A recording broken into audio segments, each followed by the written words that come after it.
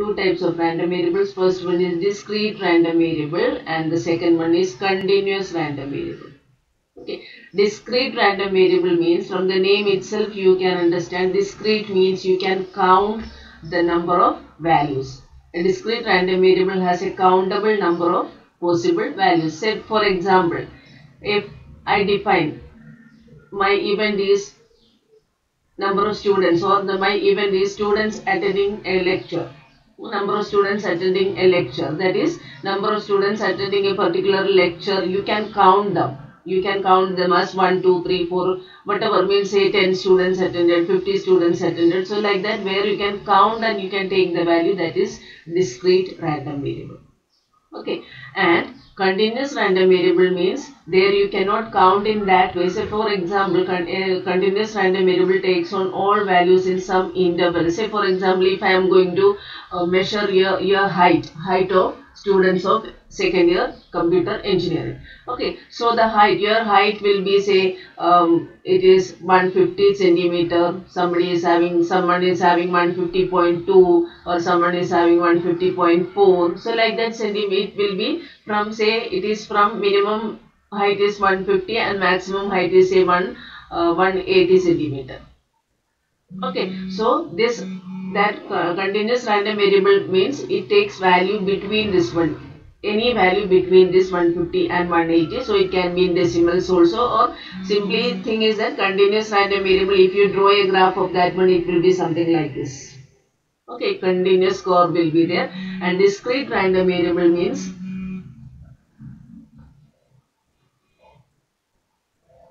discrete random variable means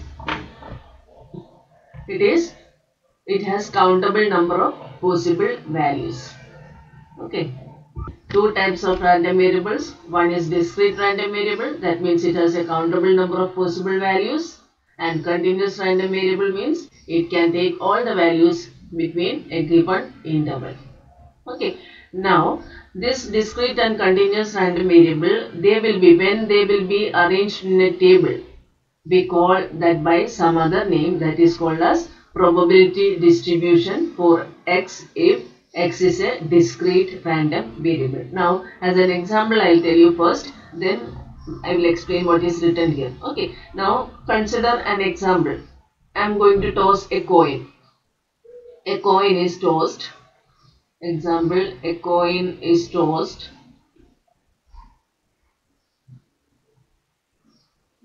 Say twice a coin is tossed twice. Then what will be the sample space? One coin is tossed twice or this will be same as two coins are tossed once. These both statements are same. Two coins are tossed once or one coin is tossed twice. Okay, one coin is tossed twice or two coins are tossed once. Both are same. Then the sample space will have as you know will have HH, HT, TH and TT. Okay, these are the sample space.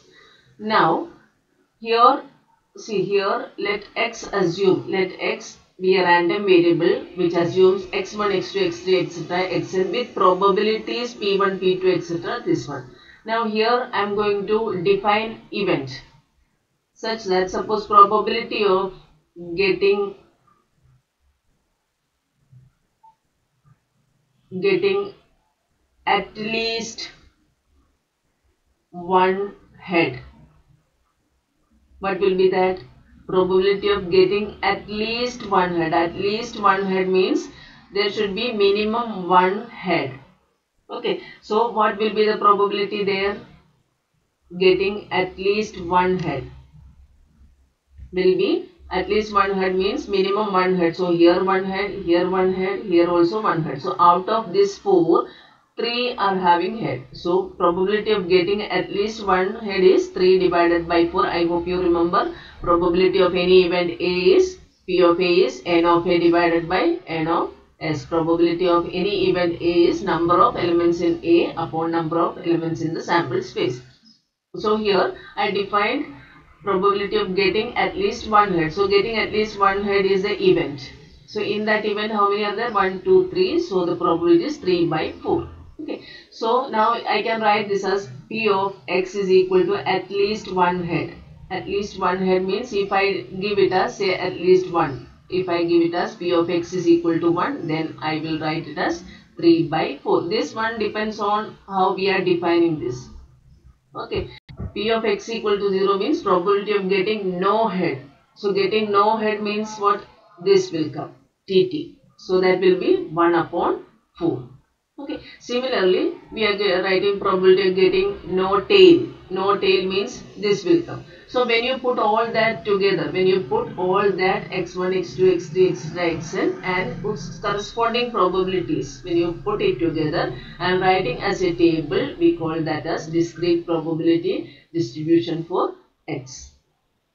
Then, so when a coin is tossed twice or when two coins are tossed once, probability or events, number of, let x be the number of getting heads. So when x is 0, x is 1, x is 2, x is only two cases isn't it because we have s is equal to hh, ht, th and tt. So probability of getting this head we are finding out or the event I am defining event is number of heads. So that is x equal to x can take the random variable x can take the values 0, 1 and 2. x can take the value 0, 1 and 2. Now I will write here p of x equal to x. p of x equal to x means p of x equal to 0, x equal to 0 this one. Then p of x equal to 1, p of x equal to 2. Okay, p of x equal to 0 that I will write p of x equal to 0 means when there is no head. x What is x? x is getting a head. Okay, event x is getting a head. So when x is 0 means x is 0 means no head. No head means here. So it is 1 on 4. Now probability of getting x equal to 1. x equal to 1 means getting one head. Getting one head. This is HT and TH. One head means out of this 4, 2 are there. So it is 2 upon 4. And getting 2 heads. Getting 2 heads means this one. Okay, 1 upon 4. And I write this in a table. It is written in a table like this. Then this is called as a probability distribution table for or probability distribution for the variable x. Okay, then now one important property of this is that here summation of, so this is if I write this as a P1, this is P2, this is P3. Okay. Then summation of this Pi, summation of Pi means P1 plus P2 plus P3, all these probabilities. When you add them together, always it should be, it will be 1. Okay, so this is the probability distribution for x when a coin is tossed twice or when two coins are tossed once. Okay, here sum of probability is always 1. For continuous case, it is probability density function. Okay, probability density function and here let x be a continuous random variable. Then, so since it is continuous random variable, it will be always in the form of a curve curve y is equal to fx. Here some conditions are there. This fx is said to be a random, a continuous random variable. If fx is integrable means it should be, you should be able to integrate that fx. Then fx should be greater than or equal to 0. Okay, because that is going to be the probability. So that fx should be greater than or equal to 0. The same way here, see here we have written P of i, each P of i is equal to 0. Here each P of i, each probability is greater than or equal to 0. Same way, here each fx should be greater than or equal to 0. And here the most important property, integral a to b f of x dx. This will be equal to 1. Same way, in discrete case, we told summation of pi equal to 1. Since it was discrete, we put sigma summation and since it is continuous, we put that integral a to b f of x dx that is equal to 1 where this a to b means that x will be lying between a and b. Okay, x lies between a and b and then uh, it uh, we can say it follows a continuous or probability density function and this is a property of this one which we use very usually we use this property that is integral from minus infinity to plus infinity f of x dx is equal to 1 okay. So here it is minus infinity to plus infinity case.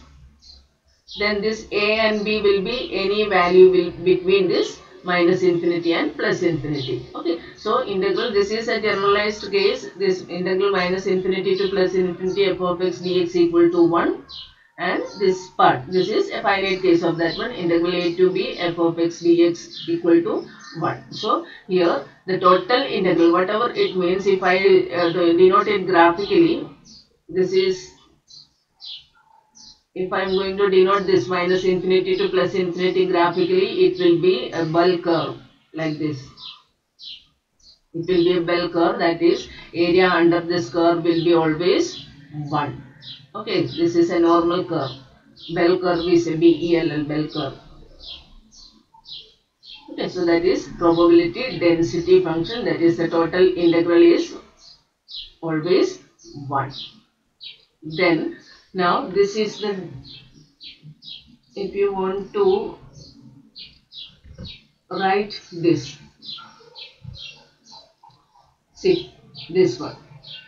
Probability if I want to write probability of say 3 less than or x less than or is equal to say 5 Suppose x is a continuous random variable. x is a continuous random variable which lies between 3 and 5. Then this can be written as this is equal to integral 3 to 5 f of x dx. Whatever f of x comes here, that function you will put here, you can then integrate and get the answer. Okay.